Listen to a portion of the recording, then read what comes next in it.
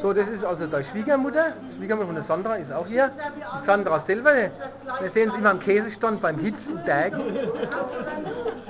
Und jetzt sehen wir uns heute mal hier außerhalb von der Reihe. Renate und der Heine. So, der Heinz, auch schon lange Zeit nicht mehr gesehen. So, uns Geburtstagskind, das 19 wärst du heute, gell? Wenn ich mich nicht verrechnet habe. Okay. Jawohl, Mensch, ich Kaffee getrunken. Es geht's gut. Das Wetter ist natürlich nicht so ideal, aber das spielt ja keine Rolle. So,